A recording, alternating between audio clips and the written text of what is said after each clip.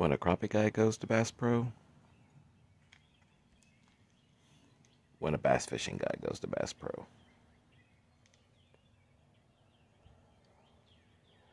Yeah. That's why I should throw that.